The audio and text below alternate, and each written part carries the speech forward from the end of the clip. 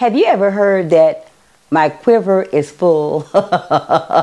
Look at these girls in our family. I am so excited that they are wonderful girls, that they're in school, that they love each other.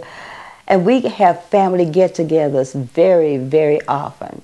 You see, I used to do dinner every Sunday for my family. But in 1995, uh, I couldn't do it anymore because of, of health problems. But guess what? That still doesn't stop us.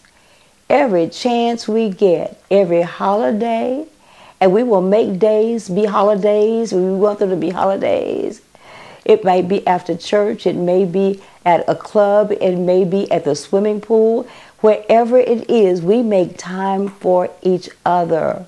Yes, we have more girls in the in the family than we do boys. We've got about six boys in the family. You know, my grandson and, and his brother and his boys.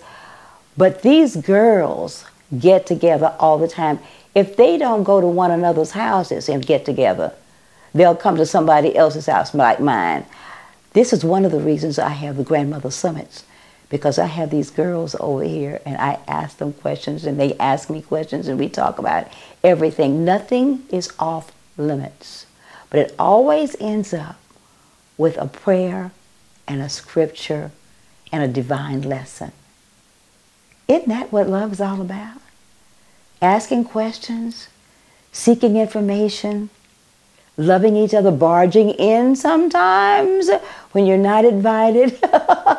But it's okay because this is what Generation Love is all about. It's a divine explosion, invited or uninvited, of love for one another. These girls are precious to me. I love them.